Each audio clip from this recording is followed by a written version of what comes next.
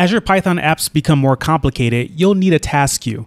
Celery is probably the most popular task queue in Python, and in this video, I'll show you how to get started with it. What is a task queue? A task queue is a way for you to offload time-intensive, processing-intensive, or unreliable tasks to a separate process so your main process doesn't get blocked. Let me show you how easy it is to use. Okay, so to get started with Celery, I need to install it. So I have a virtual environment set up already, so I'll just install it with pip. So pip install Celery. And then also I need to install a driver for the task queue or the broker that I'll be using. So the idea behind the task queue is my Python app will send a message to the task queue and then Celery will be listening to the task queue to figure out what it needs to run. So for my task queue, I'm going to use something called Redis, and Redis is an in-memory database store. So this install here in pip is for the driver, so for Python to connect to it, but I need the actual Redis instance. So I'm going to use Docker Compose to create it. So if you're not familiar with Docker, it's just a way of creating things called containers that basically run one thing. So I'm going to create a container that runs one thing, and that one thing is Redis. I'm going to create another container that runs something called Redis Commander. Redis Commander is just a tool that allows me to look inside of a Redis instance so we can visually see what's going on. And I'll show you that a little later in the video. But the point is here, I have Redis on port 6379 and my Celery app will be able to connect to that. So let me go ahead and start it. I can just do docker compose up dash D. I have Docker desktop installed, so that's why I can just do docker compose up dash D. If you had Docker desktop installed and you have this file, then you can just run the same command and then Redis is gonna be running on your computer. It's that simple. So let me close this and let me go to tasks.py. And what I'll do is I'll import from Celery capital C celery. So celery class is being imported from the celery library. And what I want to do is I want to create something called a celery app. So the celery app is just me defining like how celery is going to work in this particular instance. So the first argument is going to be the name of the celery instance. I'm going to call it tasks to match the name of my file. It just makes it a lot easier if it matches the name of the file here. In a more complicated setup, you can use a different name, but in my case, I'm just going to make it name of the file. And then I need to pass in a broker. So the broker is going to be Redis, and I need to pass in basically like a URL for it. So this starts off with Redis and then colon slash slash, and then the location of it. So it's going to be localhost and then 6379 because it's running on my computer. I could have this running on some remote server, then I would just need a different uh, location for it. But because it's on my local machine, I can say it's running on localhost. So once I have that, then I can define a celery task. So to define a celery task in this case, I can take the app object here, make it a decorator, so put the at sign in front of it, and then do dot task.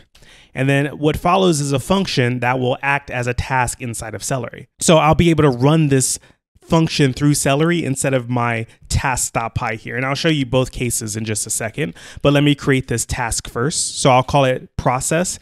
It's gonna take in two values. And what I want to do is I want to make this sleep to kind of simulate a slow running process. So I'll say from time import sleep.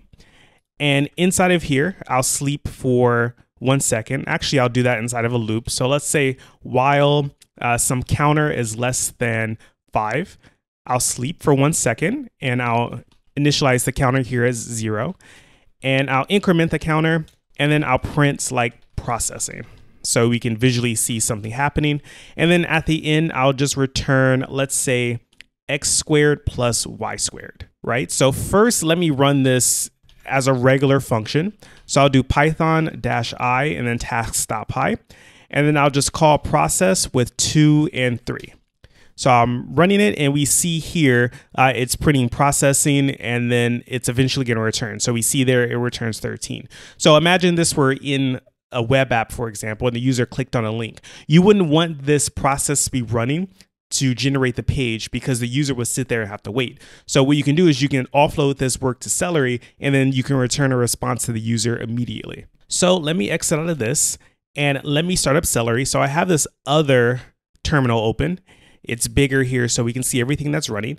So what I need to do is I need to start celery so I can use the celery command. So celery and then dash A and then the name of the file with the celery app in it. So tasks. And then I need to do worker, which says I'm going to create a Celery worker from task.py. And then I want to add some logging. So I'll do dash L and then I'll do info as the logging level so I can see everything. I'll hit enter.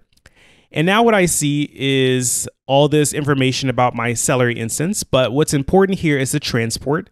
So the transport here is Redis and then localhost 6379. So that's exactly what I set up. And then here are the tasks that I have set up. So I only have one task because I decorated process with app.task. So Celery has it available. So you have to be able to see the task here before you can run it. So now let me scroll down to the bottom. So we see nothing is happening with Celery. So let me start up the Python REPL again. And just to recap, if I do process like this, it still processes in the same location. So it's processing in this REPL here. But if I want to run it in the background, what I can do is I can do process dot delay and then pass in the same arguments. So it's the same, same function name, same arguments, but I'm just putting a dot delay after the function name, and then I hit enter. Then what we see here is I get an async result. And if you notice here in the Celery terminal, it's now doing some work. So we see here, it's printing out the processing and then it tells me what the result is 13 and then it tells me it took about five seconds to run that because i have to sleep for five seconds so if this were like a real app this Celery process would be running somewhere else and it will just be waiting for any tasks to appear on the queue.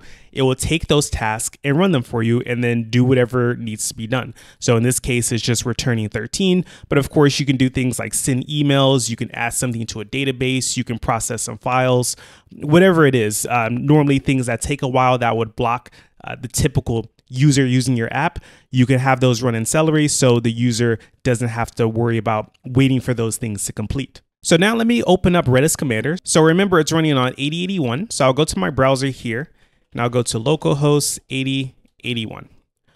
Okay, so we see here, this is my Redis instance and it has some things for Celery here that I don't have to worry about. What I'm more concerned with are the tasks that are available here. So because this runs so quickly, I won't be able to see anything in Redis Commander. But if I save the result of the task to Redis, then I'll be able to see it in Redis Commander. So normally when you run it like this, where you just have a broker, you're going to put the task on the queue and then Celery will run the task and then basically forgets about it. So it would depend on your process or whatever the task is doing some work that has some kind of effect. If you just do something like this where you return a value, then this value is going to be lost forever because there's nothing that's holding on to it.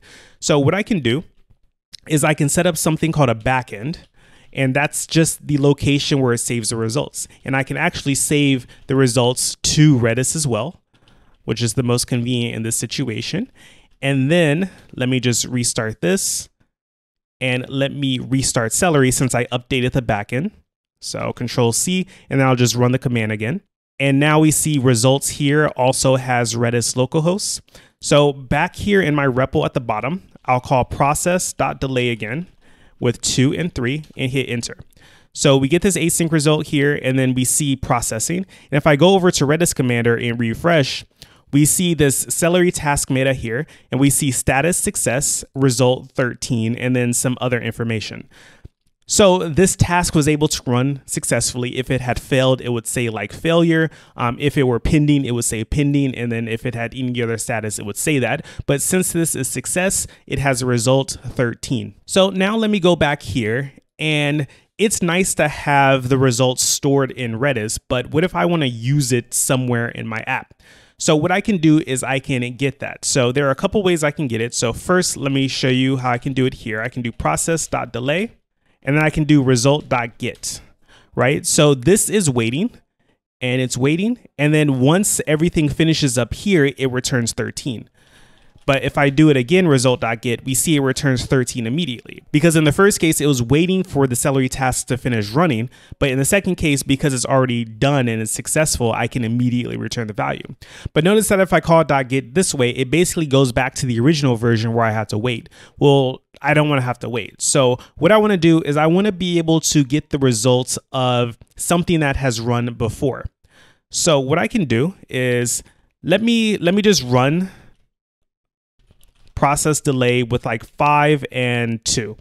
So I get a different result, right? And we see I get this ID. So I'm going to copy this ID. And just to show you this is working, I'm going to exit completely out of here. And then I'm going to go back into task with the REPL. And then what I can do is I can do result equals, and then I take the process task, the function, and instead of delay or anything like that, I'm going to do async result. And then I'm going to pass the ID that I copied as a string. And now I have results and I can do things like dot ready. It says true if I do dot ready. If I do dot status, it tells me success. And if I want the results, I get 29. And the reason why I can do this is because it is stored in Redis. If I refresh, we see a couple more. Here's the task that I just got the result for. We see the result is 29 here and its success. So this is the basic process with Celery. As you can see, the Celery part is pretty simple to set up. Really what matters is what your task is because that's where the work is. And of course that depends on what your project is, what you need to be run in the background. But for Celery itself, you can see it's pretty easy to set up. You just set up a broker, a backend, and then you'll be able to run any task that you define. I can define as many tasks as I need, and I can run them in the background in my project whenever it's necessary. So that was enough to get you started with Celery by itself, but Celery really shines when you use it with a web framework like Flask or Django. Check out the other videos on my channel to learn how to use Celery with those frameworks.